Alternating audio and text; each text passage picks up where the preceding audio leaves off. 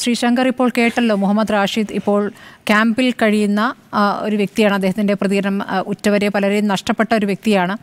അവിടുത്തെ ജീവിതത്തെക്കുറിച്ച് പറഞ്ഞു ആദ്യത്തെ ദിവസങ്ങളിലെ അവസ്ഥയല്ല ഇനി അങ്ങോട്ട് പോകെ പോകെ സാഹചര്യങ്ങളൊക്കെ അല്പം മാറുമെന്നുള്ള ആശങ്ക അവരെ സംബന്ധിച്ചുണ്ട് മുഴുവൻ അദ്ദേഹം വിട്ടു പറയുന്നില്ലെങ്കിലും എല്ലാ ക്യാമ്പുകളിലും അത്ര സുഖകരമായ അവസ്ഥയാകണമെന്നില്ല. ഇനി അങ്ങോട്ട് ഇവരുടെ പുനരധിവാസം ആകെ തകർന്ന ഒരു മേഖല ഒരു ഗ്രാമമാകെ എടുത്തുപോയിരിക്കുന്നു ആ ഗ്രാമം ഇനിയില്ല. അപ്പോൾ ഇനി ഒരു പുനരധിവാസം എന്ന് പറയുമ്പോൾ അവിടുത്തെ നിർമ്മിതിയൊക്കെ പ്രത്യേകം ശ്രദ്ധിക്കേണ്ടതുണ്ട്. വയനാട്ടിൽ എവിടെ സുരക്ഷിതമായ സ്ഥാനം എന്നൊരു വിഷയം കൂടി നിൽക്കുകയാണല്ലോ. ഡോക്ടർ ജി ശങ്കർ താങ്കൾ താങ്കളുടെ ഒരു അഭിപ്രായം എങ്ങനെയാകണം പുനരധിവാസം എന്നുള്ളതാണ്.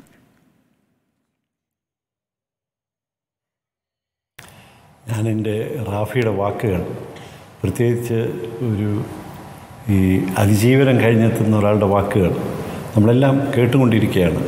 വളരെ വേദന പടർത്തുന്ന വാക്കുകളായിട്ട് ഞാനത് തിരിച്ചറിയുന്നത് കാരണം കഴിഞ്ഞ കുറച്ച് പതിറ്റാണ്ടുകളായിട്ട് ദുരന്ത മേഖലയിൽ നിരവധി നേർസാക്ഷ്യങ്ങൾ കണ്ട പരിചയത്തിൽ ചില കാര്യങ്ങൾ നമ്മൾ ശ്രദ്ധിക്കേണ്ടതുണ്ട്. ഈ പുതിയ ഒരു വയനാടിനെ പറ്റി ഈ ഇവർക്ക് വേണ്ടി പുതുതായിട്ട് നിർമ്മിക്കുന്ന ആ, ജനപദങ്ങളെക്കുറിച്ചൊക്കെയുള്ള ആലോചനകൾക്ക് മുമ്പ് രണ്ട് മൂന്ന് കാര്യങ്ങൾ ശ്രദ്ധാപൂർവം നമ്മൾ കൈകാര്യം ചെയ്യേണ്ടതുണ്ട്.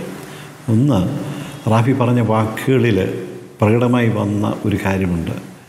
ഇത് ആദ്യം അതിജീവിതത്തിലേക്കുള്ള വഴി തുറന്നതിന്റെ ആശ്വാസമാണ്. അത് പതുക്കെ നിരാശയിലേക്ക് വഴുതി വീഴുന്നത് റാഫിയുടെ വാക്കുകളിൽ വ്യക്തമാണ്. അതായത് ഈ വസ്ത്രവും ഭക്ഷണവും ഒക്കെ ഒരുപാട് അളവിൽ സ്നേഹം പരിധികളില്ലാത്ത സ്നേഹം അതൊക്കെ കിട്ടുന്നുണ്ട് എന്നുള്ള വാസ്തവമാണ്. സമാനതകളില്ലാത്ത ഒരു സാമൂഹ്യ ദൗത്യം കേരളം നടത്തുന്നു എന്നതും പ്രശ്നമാണ് ഇനിയുമുള്ള സമയം പ്രത്യേകിച്ച് പുതിയൊരു സ്ഥലത്തേക്ക് എല്ലാം നഷ്ടപ്പെട്ടവരെ പുനരധിവസിപ്പിക്കുന്നതിന് മുമ്പുള്ള ഒരു സമയമുണ്ട്. അവിടെയാണ് താൽക്കാലിക നമ്മൾ താമസം ഒരുക്കുന്നത്. അവിടെ രണ്ട് കാര്യങ്ങൾ പ്രധാനമായിട്ട് ശ്രദ്ധിക്കേണ്ടതുണ്ട്. ഒന്ന് വൃത്തിയുടെ കാര്യത്തിൽ വളരെ കാര്യമായിട്ട് നമ്മൾ ശ്രദ്ധിക്കേണ്ടതുണ്ട്. പിന്നെ ഈ വൃത്തിയുടെ കാരണം റാഫിയുടെ വാക്കുകൾ ഞാൻ തിരിച്ചറിയുന്നത് പത്തും പതിനഞ്ചും പേര് കിടക്കേണ്ടി വരുന്ന ഒരു ക്ലാസ് മുറികളിലൊക്കെയാണ് അവർ താമസിക്കുന്നത്. അപ്പം വൃത്തിയുടെ കാര്യത്തിൽ വളരെ ശ്രദ്ധിക്കേണ്ടതുണ്ട്. ആവശ്യത്തിന് വേണ്ട ശൗചാലയങ്ങൾ അത് വൃത്തിയായിട്ട് സൂക്ഷിക്കുന്ന കാര്യത്തിൽ ശ്രദ്ധിക്കേണ്ടതുണ്ട്.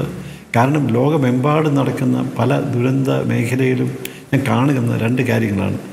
വൃത്തിയായ പാചക സ്ഥലങ്ങളും വൃത്തിയായ ശൗചാലയങ്ങളും അത് ലോക ഇതിനകത്ത് മാൻഡേറ്ററി ആയിട്ടുള്ള ചില റിക്വയർമെന്റാണ് അത് തീർച്ചയായിട്ടും അത് ഉറപ്പാക്കേണ്ടത് ആരോഗ്യത്തെ നിലനിർത്തേണ്ടത് നല്ല ഭക്ഷണം കൊടുക്കേണ്ടതൊക്കെ തന്നെ നമ്മളുടെയൊക്കെ സാമൂഹ്യ കർത്തവ്യങ്ങളിൽ ആദ്യമാണ് അപ്പോൾ റീഹാബിലിറ്റേഷൻ തുടങ്ങുന്നതിന് മുമ്പ് റീസെറ്റിൽമെന്റ് തുടങ്ങുന്നതിന് മുമ്പ് നമ്മൾ ആലോചിക്കേണ്ടത് താൽക്കാലികമായി നമ്മൾ ഒരുക്കുന്ന വാടക വീടുകളിലേക്കൊക്കെ അവർ പരി അന്വേഷണം തുടങ്ങിയിരിക്കുന്നു.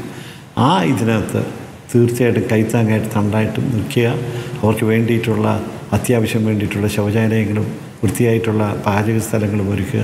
അങ്ങനെ അവരുടെ ജീവിതത്തിലേക്ക് താൽക്കാലികമായിട്ട് ഈ സംഭവിക്കുന്ന ഈ ഒരു ഒരു ഒരു ഒരു കാലഘട്ടം അത് കഴിയുന്നത് വേദനാരഹിതമായിട്ട് മാറ്റുവാനായിട്ട് നമ്മൾ ശ്രമിക്കേണ്ടതുണ്ട്.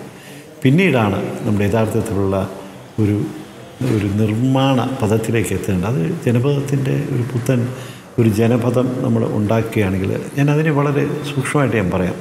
അതിന് സൂക്ഷ്മമായിട്ടുള്ള ചില മാനകങ്ങളുണ്ട്. അത് ഒരിക്കലും മറന്നു പോകരുത് എന്ന് ഒരു ഞാൻ അപേക്ഷിക്കുകയാണ്. കാരണം ഇത് ഇവരുടെ വേദന ഇവരുടെ വാക്കുകളിലറിയാം. ഒരു അത്ര സ്നേഹഭരിതമായിട്ട് കഴിഞ്ഞ ഒരു സ്ഥലമാണ് ഒരു ഇടവേളയിൽ തകർന്ന് ഇല്ലാതായി പോകുന്നത്. അപ്പം സ്നേഹം തിരിച്ചു കിട്ടാൻ കിട്ടുന്ന ഇടങ്ങളാണ് അവർക്ക് ആവശ്യം അവർക്ക് സുരക്ഷിതമായിട്ടുള്ള ഇടങ്ങളാണ് ആവശ്യം.